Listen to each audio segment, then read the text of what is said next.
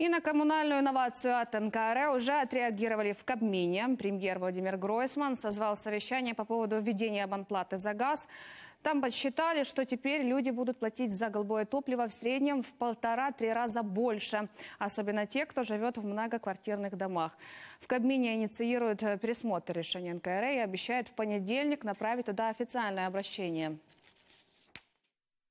Ми вважаємо, що будь-який розподіл платежів не має призвести до будь-якого підвищення ціни на газ для українців.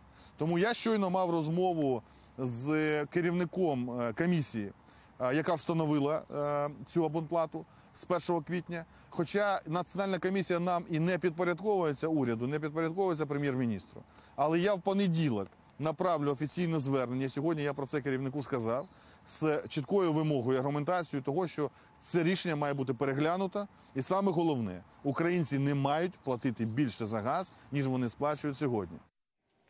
В то же время премьер не уточнил, будет ли правительство пересматривать саму цену на газ, который продает украинцам «Нафтогаз».